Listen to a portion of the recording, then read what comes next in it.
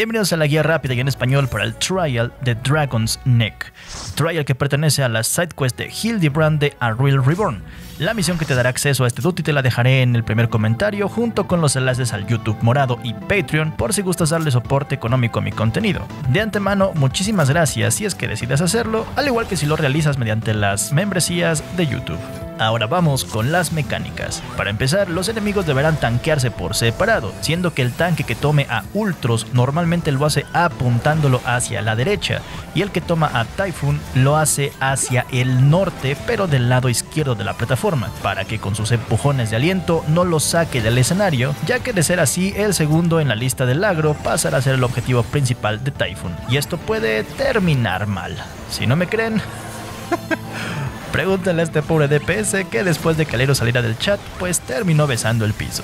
Ahora, fuera de esquivar todas las AOEs telegrafiadas de cada enemigo como Megavolt por parte de Ultros y el aliento por ambas bocas de Typhoon que se llama Funga, para la primera fase, lo verdaderamente importante lo deberán hacer los DPS, ya que ellos serán convertidos en imps, esos como minions verdecitos. Y cuando pase eso, deberán quedarse frente a Ultros, con tal de recibir el ataque Aqua Breath, el de las burbujitas, ganando así en conjunto un mínimo necesario de 8 stacks del debuff Wet Plate. Esto es de suma importancia para no terminar en wipe ya que cuando Typhoon se mueva al centro del escenario a castear Sever Snort y comience a brillar, todos muévanse al centro debajo de él y los DPS deberán ocupar su único ataque como imps para gastar las 8 stacks y así evitar que el estornudo sea lo suficientemente fuerte para sacarlos a todos al mismo tiempo del escenario, ya que si pasa esto, directamente fallarán el duty, ¿vale?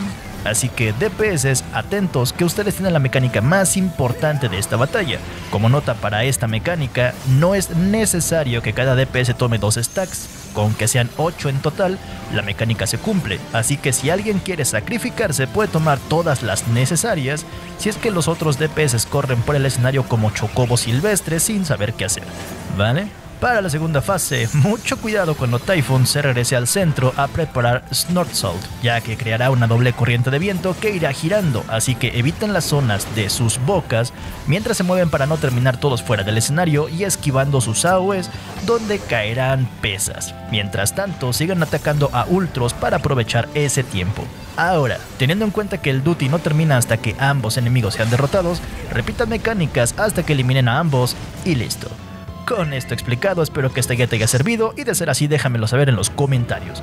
Muchísimas gracias a mi comunidad del YouTube morado y mecenas de Patreon por ser el sustento económico de mi contenido. Y ahora también a los miembros que se unan a las suscripciones de pago que tengo aquí en YouTube. Muchísimas gracias por apoyar mi contenido. Para cuando hayan sido publicadas, aquí te aparecerá la ROM completa de ese trial que fue The Dragon's Neck. Y por acá estará la guía del siguiente duty que será Battle in the Big Keep. Yo soy Tamo y me despido, recordándote que me puedes encontrar en todas estas plataformas. Pero mientras, nos vemos en la siguiente guía. Hasta luego.